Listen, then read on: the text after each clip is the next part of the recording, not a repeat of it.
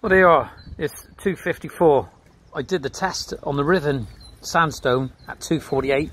Let's go over. I've had my toasty. So the length is taken. Excuse the dogs, but that's what they're there for. There we are. So it's there. 248 was when I did it, and now it's 255. Let's have a look now.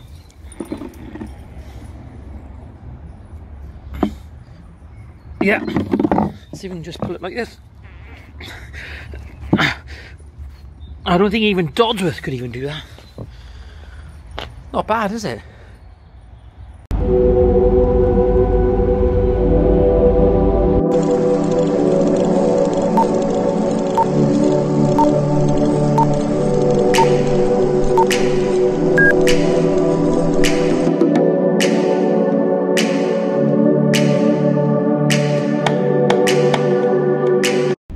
Well, I'm sat in the van now. Um, I'm by myself this morning because um, I got two guys.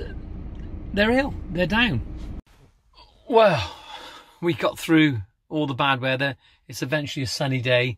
We got through the storms and uh, all that Brexit rubbish, and now we've got this COVID nine or this coronavirus, whatever it's called, and uh, I've got no staff. Well, you are. This is what I wanted to show you. Um, that's as far as we got with our sub base. That's the lean mix, as I called it, which is forms part of a PQC, a paving quality concrete, if you were doing road building. And uh, it's done what I wanted it to. This is absolutely solid. And the idea about this is that it's going to, it's just a rigid paving system. But what, what we were able to show now is that you can see where the water is ingressing into the garden and we've got like this trench all the way across which that's what I was hoping for because at least I can see where it is. This uh, base is absolutely solid. If you'd had a type 1 in here it'd been absolutely soaking because it would have permeated through it. But with this it'll still permeate through but because there's some cement content it's rigid. Well there we are. There's the trench. So that's where our drainage is going to be in that trench there. But we're going to connect to that storm pipe over yonder well, this is called a graft. This is this is for digging and getting down and amongst it. It's a bit dirty, but it's going to get me down and expose that four inch.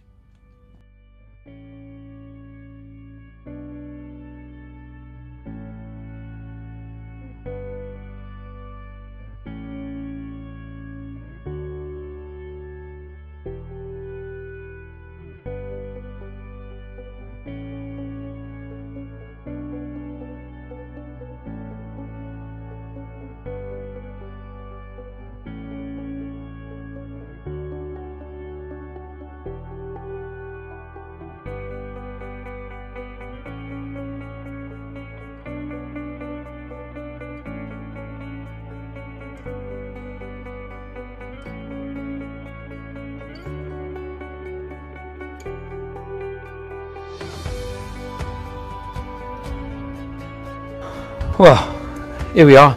This I've I've connected some fittings in now. Put these in place here. This going underneath the drive here, so we're really stuck here um, uh, to, for space. Really, it wants a chamber on there, but the the the chamber would fall right on the steps. It would just look a total mess.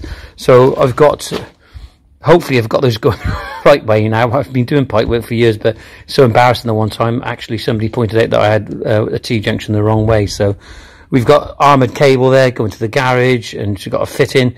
And what they've done is on the back end, they had a land drain pipe just feeding in the back of that drain. This is a storm pipe. So we're going to have to seal that off we don't want earth and mud going in. So what we've got now is now we're going to run a pipe all the way along this trench, all the way up now. That will be underneath the step because there's water coming into the garden and we need to get rid of it because this really does build up. So I haven't got the um, slotted uh, land drain this morning. I've got this solid domestic, but I'm going to put my own slots in there. So there we go. Well, what I'm doing now, I've got uh, my junction there and it's not quite straight as I want it. I'm going to put uh, two slow bends on it.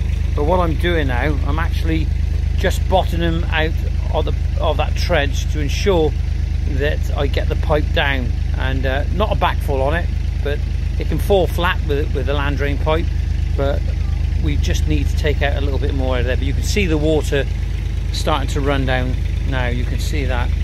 So that's working well that way. We'll see if that gets away by the end of the day. We'll see if it works now by following the chippings around the pipe. Well it's a glorious day at last. We've got through the rain and the storms and all you know all that brexit stuff and then we're hit again with this coronavirus. Um, just find it sort of like must be difficult for a lot of people like certainly for me as well sure you um, yeah for everyone you know it's just difficult times and uh, you know I think as a landscaper or a contractor you just got to be proactive you just got to get on it and um, if you're unable to work for one reason or another but just think of it you know as like taking a holiday I suppose and taking that holiday early. You might not necessarily want to be sort of um, paying out for a holiday now, but that time off is like a holiday. You know, have, have a couple of weeks off maybe. I don't know. Keep going where you can keep going, but certainly be proactive. Get on social media, start posting your stuff. You know, do everything you need to do behind the scenes to keep your, your business going. And, uh, that's all I can suggest, if I'm allowed to suggest that is.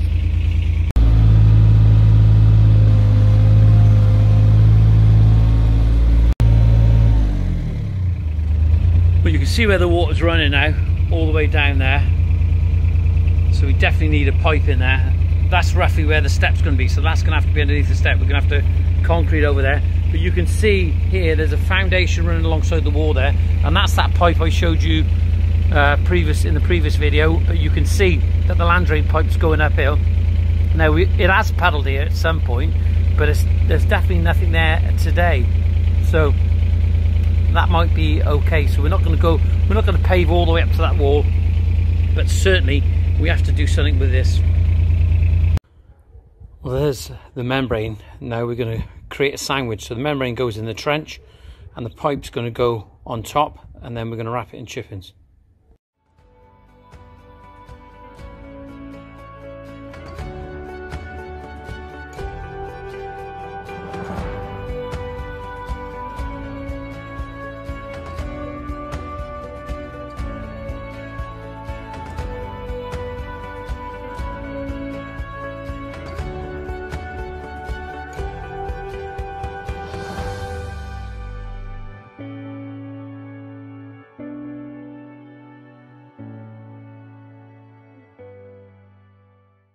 Well, I'm having a cup of coffee now. there it is. Um, I the collars I bought, I didn't. I should have looked closely. There you go. We all make mistakes. But the collars I bought, they were slip collars, and I couldn't understand why they kept moving when I was trying to push them in. And um, shouldn't say it. I've been using. Um, that's okay, like because this is a, uh, a a land drain system, and they all say that you shouldn't use any fairy liquid, but we had a little bit of fairy. I didn't have any grease to put on the on the collars, and um, years ago they used to take the rubbers out for a storm drain, and they say that fairy actually disintegrates the the rubbers. But what you got to remember is in the top of that pipe now, because they didn't have any slotted land drain, solid land drain, four inch, we have to put our own slots in there, and that's what I'm going to do now. So I'm going to put cut slot in there. Sometimes you get the perforated ones with uh, drill holes, uh, but we're going to put our, our own in there now. So that's the next job. But the drain system is in. Well, at last we're getting a bit of sunshine on the garden now. But you can see I've cut all the slots into this pipe because there was none there before. And the water, the idea of the water, the water can rise up and drop into and then channel away so it doesn't stay here. So once it gets to a certain height, it has somewhere to go. So you're creating that plug hole. The other thing, of course, is that the water now is actually following the pipe run itself because there's pipe bedding all the way around. Unfortunately, pipe bedding years ago was pea gravel because it was river eroded, and now obviously they're using pea gravel for dress stone, and we're using this limestone chippings still works. Now we've got to pull that membrane over the top of that pipe.